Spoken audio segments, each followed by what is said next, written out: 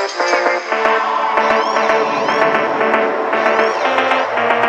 fans need a car. Told them to the killers they want to clock.